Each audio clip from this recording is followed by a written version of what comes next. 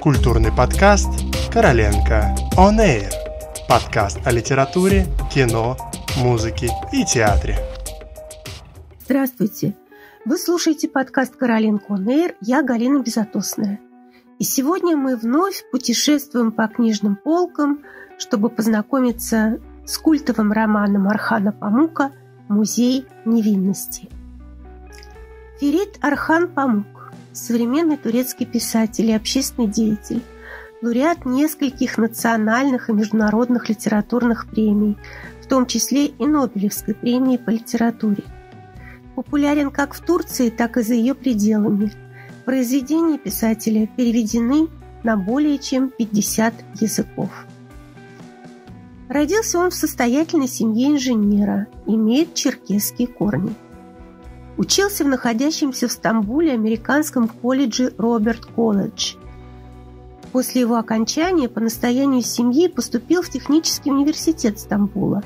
Родители хотели, чтобы сын стал инженером-строителем, но через три года он оставил его, чтобы стать профессиональным писателем.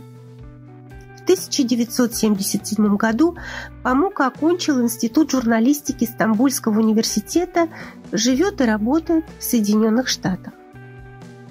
12 октября 2006 года Архану Памуку была присуждена Нобелевская премия по литературе с формулировкой «Автору, который в поисках меланхоличной души родного города нашел новые символы для столкновения и переплетения культур.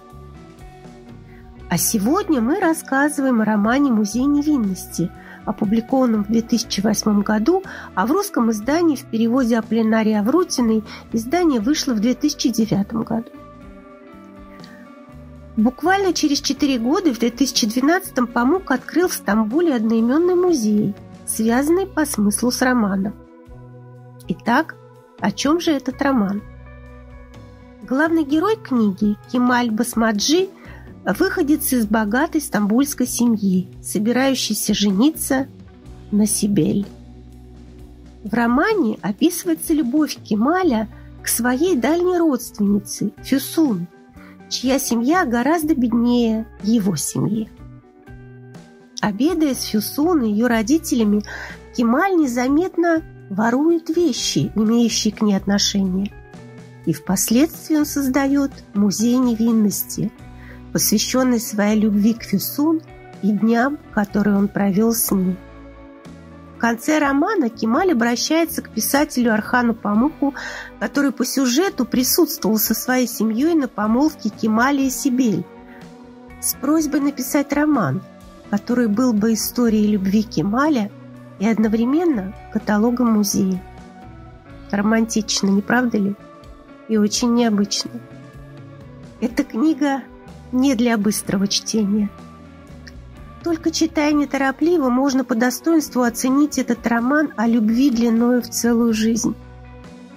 Наверное, кто-то сочтет, что автор часто повторяется, но, возможно, это не автор повторяется. Это чувства Кемаля остаются неизменны все эти 608 страниц. А теперь вернемся к музею.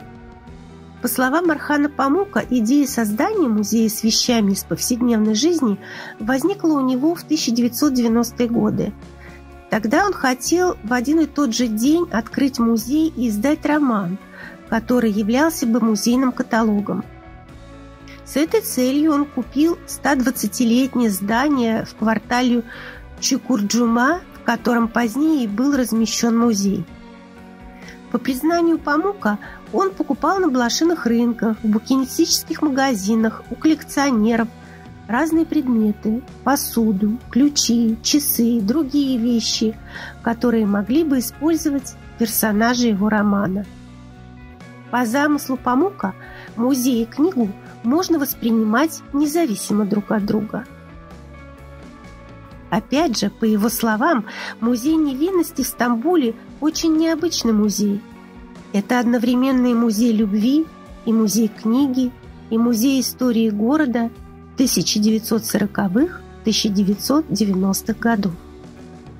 В последней главе романа помещен билет, по которому можно один раз пройти в музей.